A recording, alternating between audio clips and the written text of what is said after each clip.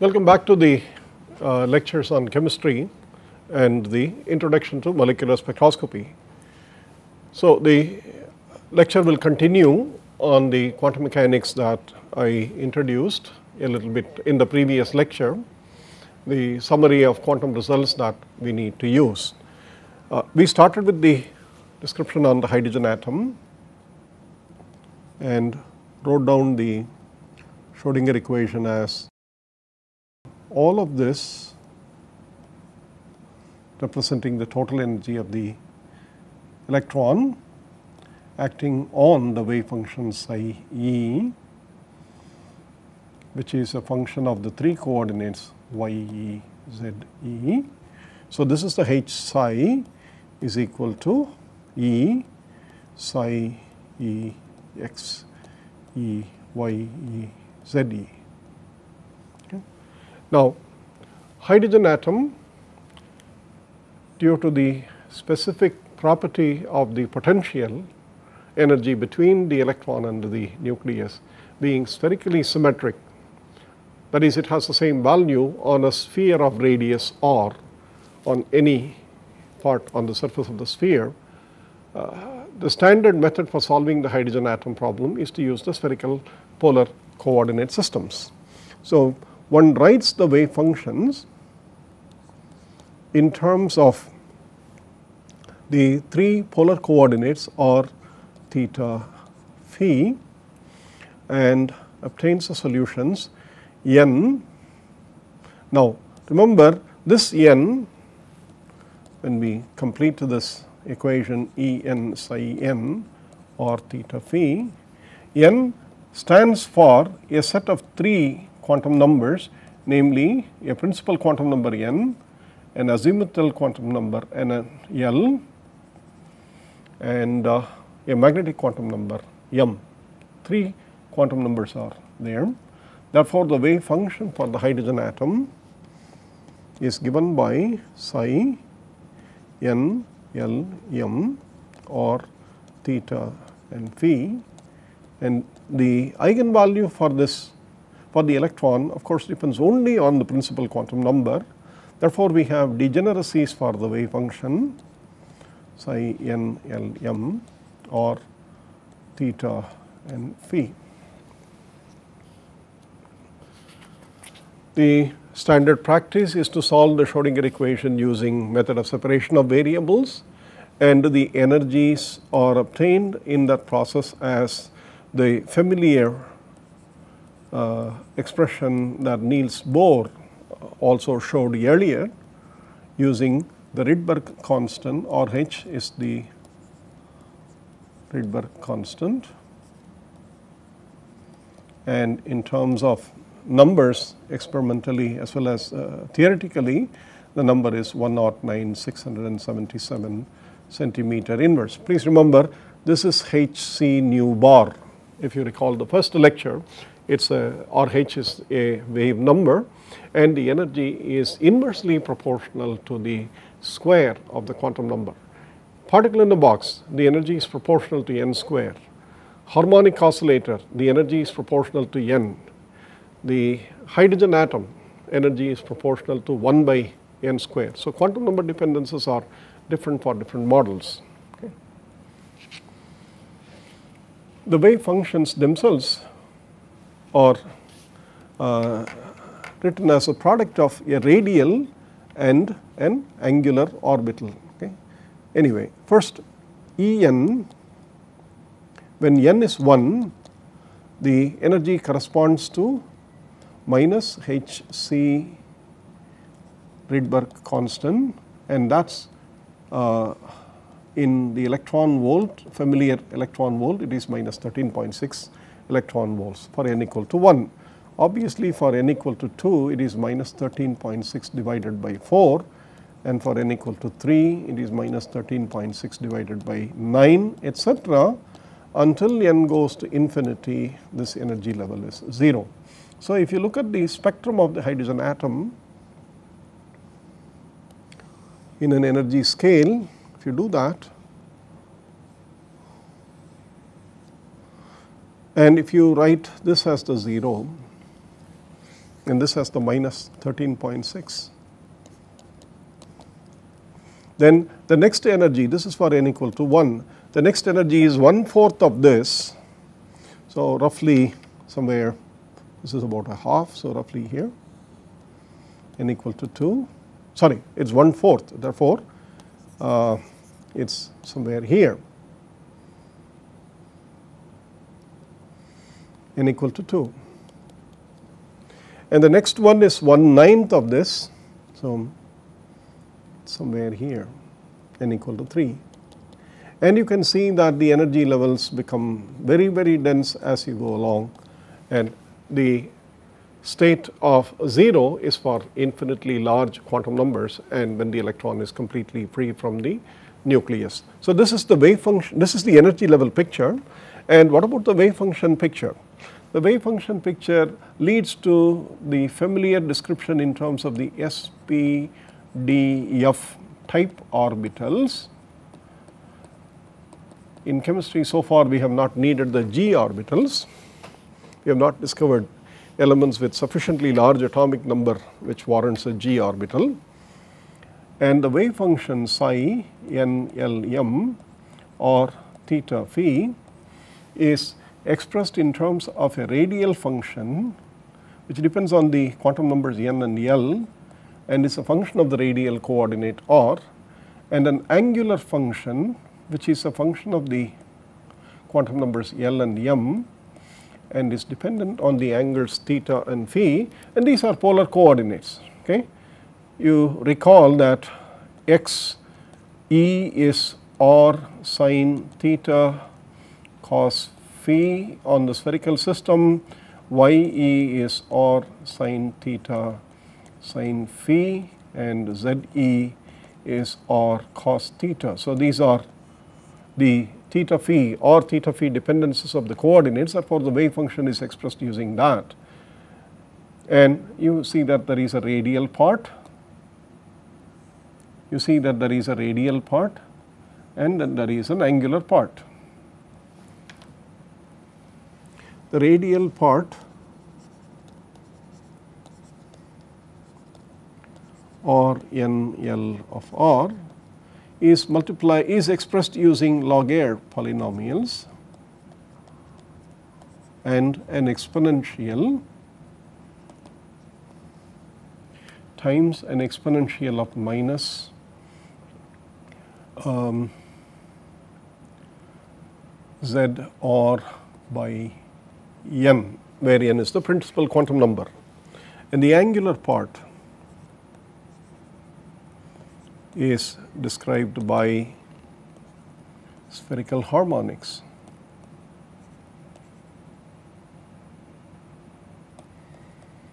y l m theta phi. Therefore, psi n l m is the product of the 3 product of the 2 or times y. Okay. What are the values for n? The mathematics tells us that n has the allowed values 1, 2, 3 all the way to infinity. L has the allowed values 0, 1, 2 up to n minus 1 for any given n and m has the values 0, plus minus 1, plus minus 2 until plus minus L. So, there are 2 L plus 1 M values. There are N L values and N of course can go from 1, 2, 3 to infinity. So, the typical wave function picture that comes out of this is when N, L, M and psi if we write and the energies and the labels that we have. Then n is 1, L is 0, m is 0, this is r 1 0 of r, y 0 0 of theta phi and the energy is minus 13.6 eV. This is the 1s orbital. And when n is 2 you have L equal to 0 and L equal to 1 for L equal to 0, m is equal to 0 is the only allowed value or 2 0 of r y 0 0 theta phi this is the LM and this is minus 13.6 by 4 eV this is the 2s orbital. It is actually angle independent. 0 0 is square root of 1 by square root of 4 pi that is a number. So, it is independent of theta and phi. So, all those things which are angle independent, so the theta phi independent they are called the s orbitals. When L is 1 m can be 1 0 or minus 1 and these are obviously written as R 2 1 y 1 1 or 2 1 y 1 0 or 2 1 y 1 minus 1 and these are usually called the 2 p orbitals. Both the 2s and 2p orbitals have the same energy because the energy depends only on the principal quantum number. And therefore, you have 4 orbitals for n equal to 2 and likewise when you do n equal to 3 you have got 0, 1 and 2 0 is the same as what is called the 3s orbital, 1 is what is called the 3p orbital.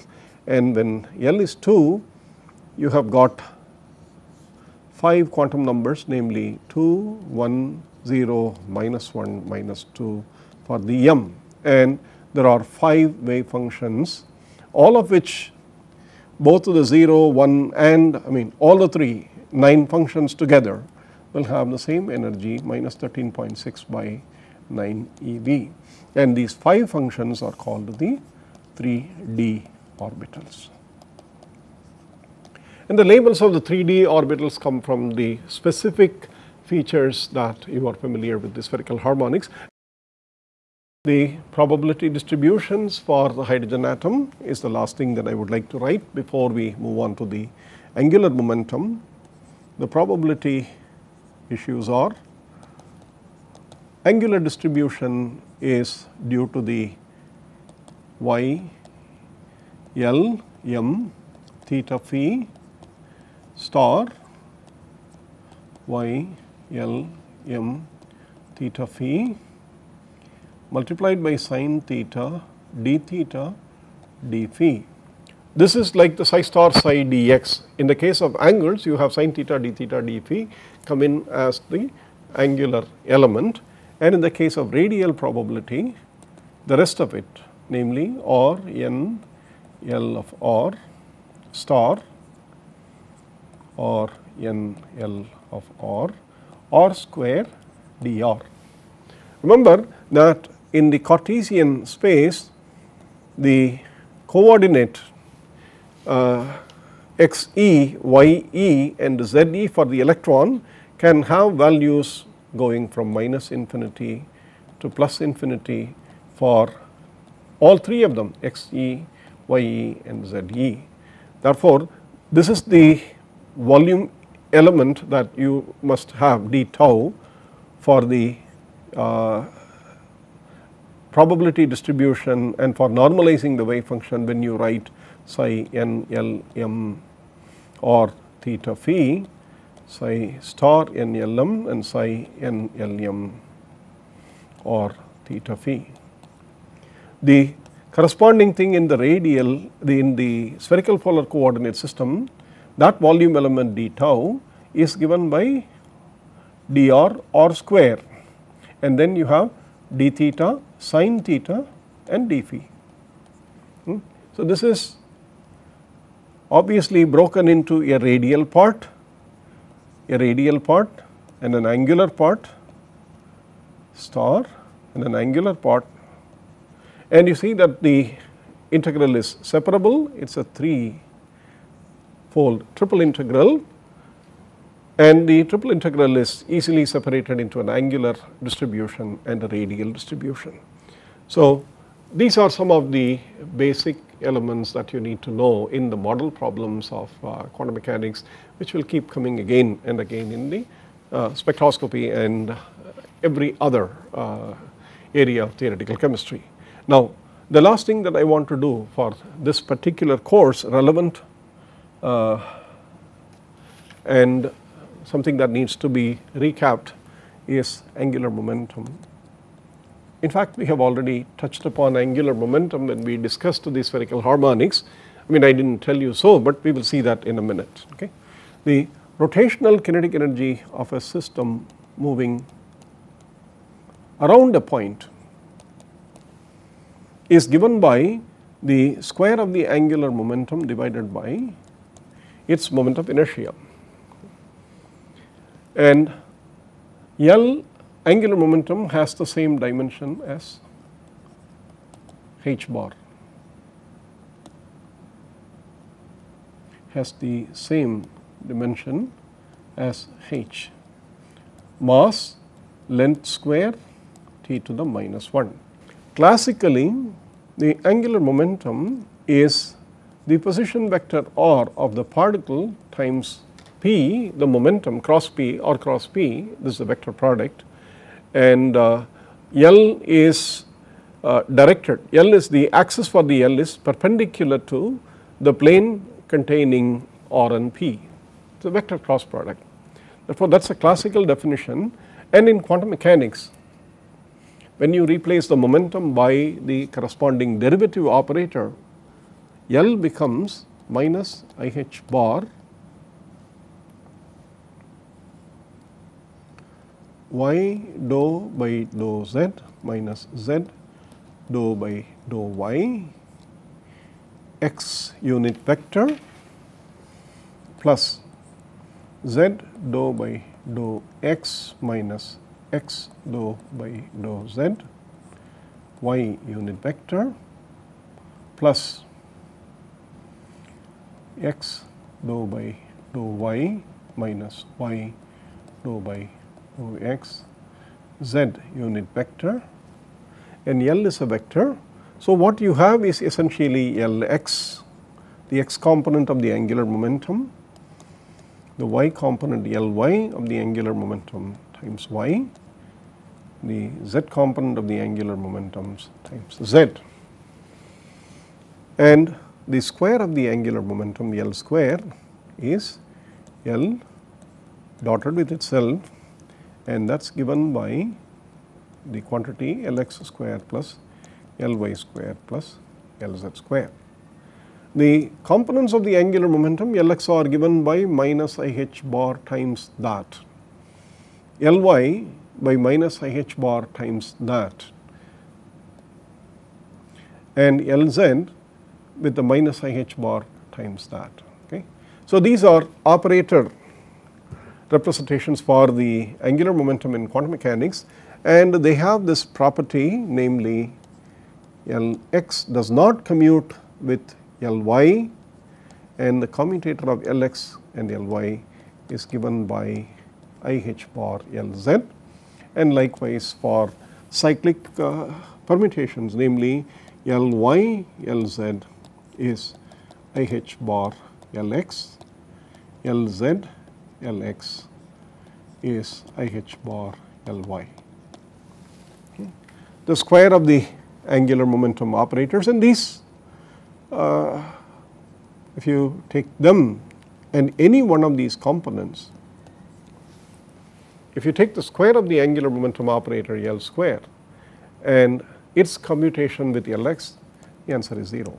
L square commutes with all the three components L square Ly is 0, L square Lz is 0 and in spherical polar coordinates. In spherical polar coordinates the square of the angular momentum is given by minus h bar square 1 by sine theta dou by dou theta acting on sine theta dou by dou theta plus 1 by sine square theta dou square by dou phi square. And this is used in the solution of the hydrogen atom when you transform the hydrogen atom kinetic energy you would see that this term comes with a minus h bar square by 2 m with one term preceding that namely 1 by r square dou by dou r r square dou by dou r. And then you have 1 by r square times everything. The minus h bar square is outside. Therefore, you have 1 by r square sin theta dou by dou theta multiplied by this derivative and then you have 1 by r square sin square theta multiplied by that. Therefore, this comes straight from the spherical polar coordinate uh, representation of the angular momentum and the operator for the angular momentum L square. Therefore, immediately can be identified to have this YLM as the eigenvalue. L square on YLM theta phi will give you h bar square L into L plus 1 YLM theta phi. Lm theta phi. The operator Lz, if you again go through the algebra of the coordinate representation and transformation, will come out with this form minus I h bar dou by dou phi, the same as the phi here. And this has Lz on Y L m theta phi, the eigenvalue m h bar Y L m theta phi and uh, YLM is simultaneously eigenfunction of both L square and Lz because the operators commute. Lz and L square commute. Therefore, mathematics tells us that it is possible to have the same eigenfunction for both of them, but with of course different eigenvalues namely mh bar for Lz and h bar square L into L plus 1 for the operator L square. And you remember YLM of course has limitation in the sense for any L there are 2L plus 1 YLMs starting from YLL to YL minus L.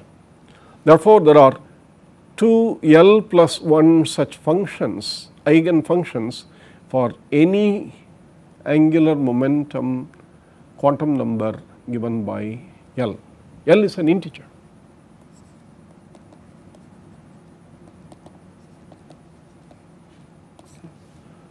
This is something that you are already familiar with. But if you recall the particle in a ring which is a one dimensional problem, only phi is the coordinate and the kinetic energy is given by minus h bar square by 2 i d square by d phi square. I is the moment of inertia of the particle moving on a ring, moment of inertia.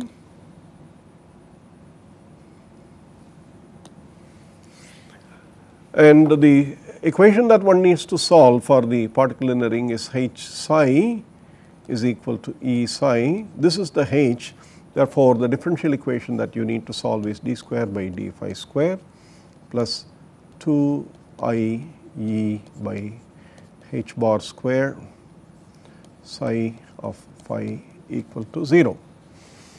And note that the dimension of i e by h bar square dimension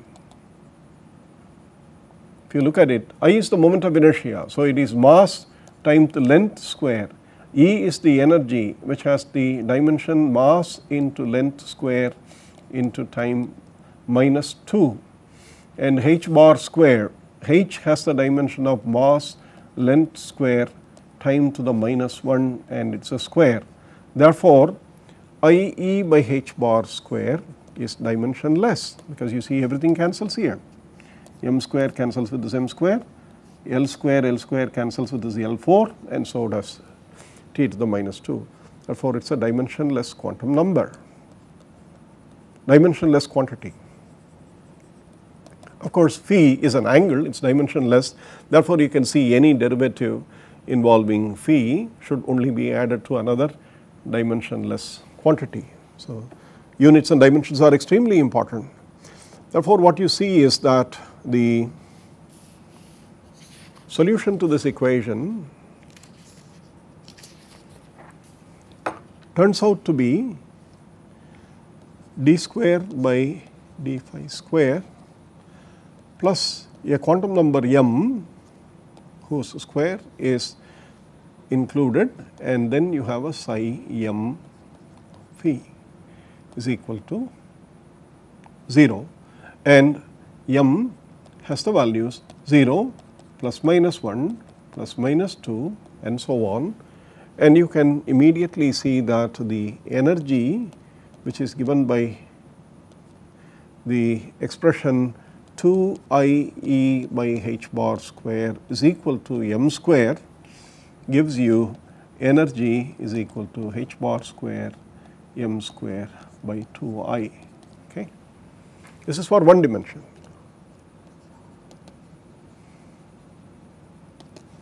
For three dimensions or more than one dimensions, you already have that.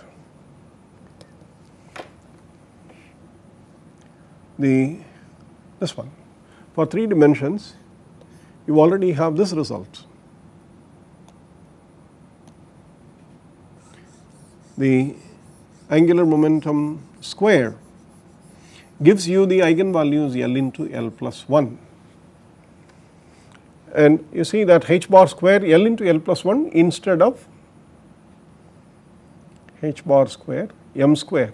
Therefore, if you have to do the same problem in 3 dimension from 1 to 3, you see that E L is given by h bar square L into L plus 1 by 2 i for the specific rotor for the overall square of the angular momentum and this is what we will see as an important quantity later when we study the diatomic molecular uh, spectroscopy, rotational spectroscopy and also when we study the rotational spectroscopy of a spherical top molecule, you will see that the eigenvalues for the rotational energies will be a quantum number L into L plus 1 and the units are h bar square by 2 i. i is the moment of inertia for the molecule in that case and therefore the relations that we have here should be recalled when we do the microwave spectroscopy and also when we do rho vibrational spectroscopy later. Okay. The eigenfunctions for rotational angular momentum are obviously given in the case of a one dimension. It is easy to write that the eigenfunctions psi m are e to the plus or minus i m phi.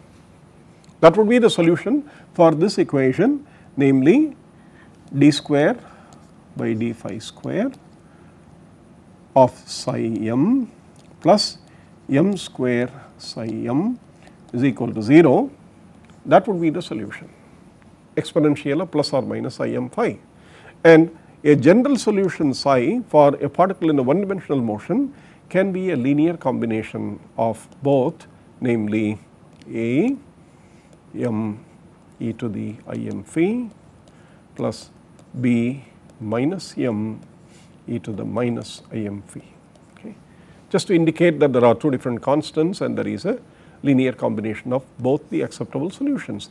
And this is a degenerate solution because the energy depends on the square of m. So, it does not matter whether m is plus or minus the corresponding exponential im phi will be the solution and both of which are different wave functions. So, for a particle uh, on a ring you have degeneracies for every m other than m equal to 0. So, these are important relations for understanding the role of angular momentum in rotations and also the coupling of rotations with molecular vibrations and so on and therefore, please keep these in mind. Uh, I think I have come to the summary of whatever that minimally quantum mechanics we needed before we move on to understanding uh, elementary microwave and infrared spectroscopy.